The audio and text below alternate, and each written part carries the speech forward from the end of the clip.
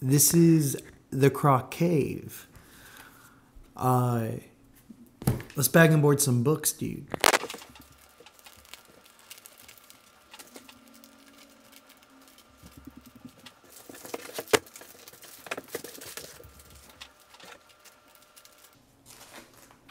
It's too thick, dude.